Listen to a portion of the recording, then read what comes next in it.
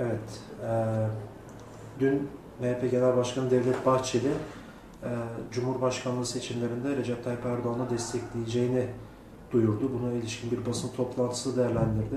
Bir, bu ne anlama geliyor? İki, bugünden sonra e, bunu insanlar nasıl algılayabilir? Şimdi aslında e, Abdülkadir Selvi Devlet Bahçeli için e, politika yapan ya da oyun bozan ikisini bir arada kullanan bir tabir kullandı.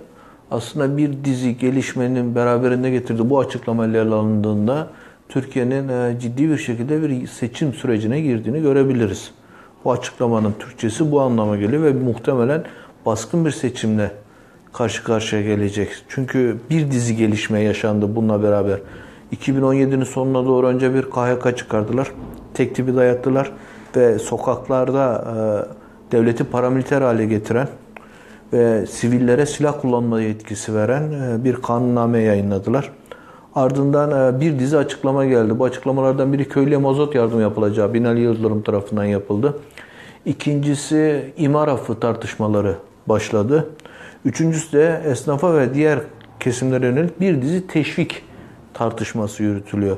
Bütün bunlar düşünüldüğünde seçimlere alışkın bu ülkenin insanı aşağı yukarı bunların birer seçim yatırımı olacağını görür. Peki niye erken seçime bu kadar gündeme getiriyor? Çünkü aslında saray e, bu gidişatın kendi sonu için hayırlı olmadığını biliyor. Enflasyon çok yüksek çıkıyor. Ekonomik veriler e, hükümetin istekleri ve sarayın e, istekleri doğrultusunda gelişmiyor. Toplumsal alanı daraltıyor. Dışarıda ciddi baskı altında. Zarraf davası sonuçlarında bunun çok ciddi ekonomik sonuçlar olacak. Siyasi sonuçları da çok ağır olacak. Öte yandan Suriye'deki çözümsüzlük siyaseti, özellikle de aslında Kürt sorunundaki çözümsüzlük siyaseti AKP hükümetine ister istemez Rusya'ya ve Avrasyacı Kanada ve savaş siyasetini itekliyor. Bunların da bir sonucu olacak ve İran'ı gördüler. İran'daki halk hareketi, peşine Tunus'ta başlayan halk hareketi aslında bunlar için biraz ölüm çanlarında çalması oldu. Saray şöyle bir derdinin peşinde alelaceleye getirilmiş ve eninde sonunda mutlaka kazanacağı bir seçime girip ondan sonra bütün halk hareketlerini törpüleyerek istediğini yapmak. Yani ağır bir baskı sürecini başlatmak niyetinde. Peki bunun için MHP'ye mi ihtiyaç duyuyor? Ee, MHP bunun yolunu açtı. %51'i garanti almak istiyor. Ama şöyle yapacak. Abdülkadir Selvi daha önce söylemişti. Kaybedeceği bir seçime girmeyecek. Biz e, Türkiye'nin artık seçimle rejim değiştirme barajını e, aştığı inancındayız. Saray öyle ya da böyle bu seçimden galip çıkmak istiyor. Ve bunu çok geciktirmeden yapmak istiyor. Çünkü geciktikçe kendi sonunun hızla hazırlandığının farkında bir an önce bu işi bitirmek ve hükümranlığını sonsuza kadar, ölene kadar sürdürmek istiyor Erdoğan. Ve çocuklarına bırakmak istiyor. Peki e, siz parti olarak MHP'nin bu tutumunu az önce geniş olarak değerlendirdiniz de yani MHP neden AKP'ye yaranıyor? Çünkü 4 yıl önce, 3 yıl önce Devlet Bahçeli'nin bir röportajında saat 17.25'e sabit kalmıştı ama artık o saat çalışıyor. Şimdi bakın e, Kürt sorunu belki de hiç olmadığı kadar bu ülke gündeminin temel belirleyen haline geldi. Geçmişten çok daha önemli bir şekilde geldi. Bunun iki üç tane örneği var. Birincisi e, Suriye politikasında ABD ile yan yana durabilmesi için bu hükümetin yani NATO'nun içinde durabilmesi için bir şekliyle PYD ile ve YPG ile barışması gerekiyor. Ama bunun sonucunda Türkiye'de bir şekilde Kürt sorununda çözüm adımları atması gerekiyor. Buysa o halin kaldırılmasını, gazetecilerin serbest bırakılmasını, e, sokak eylemlerinin rahatlamasını, sendikaların özgürleşmesini getirecek. Erdoğan bunun kendi sonu olduğunu biliyor. 7 Haziran'da bunu gördü. Bu yüzden de hızla Kürt sorununa bir taraf oluşa geçti. Bu onu İran'a ve Rusya'ya yanaştırdı. İkincisi 7 Haziran'da Kürt hareketinin, Kürt sorunun çözümünün bu ülkede ciddi bir şekilde demokratikleşme ve demokratik muhalefeti güçlendirdiğini gördüğü için Ergenekoncularla ve milliyetçi çevrelerle bir ittifaka girdi. Kürt sorunundaki çözümlük, çözümsüzlük siyaseti onu kaçırmaz olarak MHP'yi tekliyor. MHP ise ayakta kalabilmenin tek yolunun artık saraya yedeklenmekten geçtiğini biliyor. Devlet Bahçeli dün kendi partisinin e, ölüm fetvasını yayınladı. Ve e, artık siyasete veda etmiş durumdalar MHP olarak sarayın yedek gücü haline geldi ve buradan kendi siyasal geleceğini kurmaya çalışıyor. Ama aynı zamanda bir devlet aklıyla çalışıyor. Bu eski devletin aklı bu. Bunun içinde Ergenekoncular var, bunun içinde Vatan Partisi var, bunun içinde e, Erdoğan var, bunun içinde Devlet Bahçeli var. Böyle bir milliyetçi, Türk, Sunni, erkek bir ittifakla karşı karşıyayız. Ve zaten bunun faturalarını ödemeye devam ediyoruz. Peki ikinci olarak farklı bir konu olarak şunu sormak istiyorum.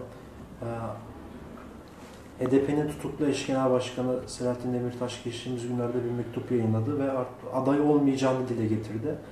Ee, Üçüncü kongre öncesi. Sizin buna karşı yorumunuz nedir? Nasıl değerlendiriyorsunuz? Şimdi HDP içinde başlayan tartışmalar bizim için e, aslında ciddi şekilde yaralayıcı ve zarar verici bir tartışma olarak değerlendiriliyor. Az önce anlattığım gerekçeler düşünüldüğünde Türkiye'nin bayır aşağı ağır bir baskı sürecine gittiğini görmemiz gerekiyor. Ve Erdoğan bu süreçten kesintisiz galip çıkarsa mücadelenin çok daha ağır geçeceği, bu ülke halklarının çok daha ağır fatura ödeyeceği, işçilerin, yoksulların, kadınların çok daha ağır fatura ödeyeceği bir döneme gireceğiz. O hal zaten kalıcı hale getiriliyor. Bundan sonra o halin e, giderek baskıcı yüzüyle daha fazla yüzleşmeye başlayacağız. İşte biliyorsunuz bugün yeni bir kararname gündeme geldi. İstanbul'un bazı mahalleleri terörle mücadele yasası kapsamında yeniden imara sokulmaya çalışılıyor ve artık e, muhtemelen önümüzdeki dönemde büyük şehirlerde, batıdaki büyük şehirlerin bazı mahallelerinde yoksulların yaşadığı, Alevilerin yaşadığı varoşlarda olağanüstü halini ilan edildi, sokağa çıkma yasaklarının ilan edildiği bir döneme iteklenebilir. Parantez içinde unutmadan e, bu ne anlama gelir peki? Böyle bir şey olursa ne olur? Böyle bir şey olursa eğer biz derli toplu değilsek saray e, seçimi ister e, sandık zoruyla kazansın, ister iptal ederek kazansın itiraz edemez hale gelmiş oluruz. Onun istediği de bu. Yani aslında saray bir e, yol temizliği yapıyor. HDP içinde başlatılan bu tartışma aslında bu yönüyle AKP'nin ekmeğine yağ sürüyor. Bizim için e, HDP'nin başkanının kim olduğu tartışması artık çok önemli değil. Bizim için esas olan mücadelenin neyi istediği ve ihtiyacının ne olduğudur. Halkların Demokratik Partisi bu ülkede antifaşist mücadelenin, saraya karşı mücadelenin en önemli dinamiklerinden birisidir. Onun yıpratılması bir bütün olarak bu mücadeleye zarar verecektir. Tartışma bir seçim eksenli gidiyorsa kabul edilmelidir ki bir seçim yüzü eğer böyle gidersek seçim yüzü görme şansımız da kalmayacak. Bu yüzden biz e, HDP içindeki tartışmalara şu eksende ele almayı düşünüyoruz. Başkanlık tartışması nasıl bir mücadele tartışmasıyla beraber ele alınmalıdır. Ve e, Sayın Demirtaş çok önemli bir simadır. Önemli bir siyasetçidir ve HDP'nin geldiği yerde önemli payı vardır. Ama kabul etmek gerekir ki artık e, geldiğimiz noktada e, tartışma HDP'nin başındaki kişinin oy potansiyeli tartışması değildir. Tartışma bu mücadeleyi nasıl karşılayacağız tartışmasıdır. HDP'nin zayıf düşmesi, HDP'nin kendi kitlesi içindeki e, prestijinin zarar görmesi, dün kamuoyuna yansıyan tweetlerin atılması ve bu çeşit bir tartışmanın içine çekilmesi e, HDP'nin onca yıllık emeğine, Türkiye Devrimci Hareketi'nin onca yıllık mücadelesine e, zarar vermektedir. Biz HDP kongresine giderken partimiz bir bütün olarak e, başkanlık meselesine de, kongre seçimlerine de mücadelenin büyütülmesi ve bu mücadelenin güçlenmesi ekseninde yaklaşıyor ve bu elde e, minvalde de tutumunu belirleyecektir. Bizim için sorun başkanlık meselesi değil, mücadele meselesidir. Peki son olarak eklemek istediğiniz bir şey, katmak istediğiniz bir şey var mı? Biz şunun inancındayız. Ne kadar saray çok güçlü görünürse görünsün, ne kadar muhalefet dağınık görünse görünsün. İki şey bu yolun sonunu göründüğünü gösteriyor. Bir, onun sonu yaklaşıyor. Ne ekonomik durum, ne uluslararası siyasi gelişmeler hiçbir çözüm yaratmıyor. Kendi içinde çatlakları var.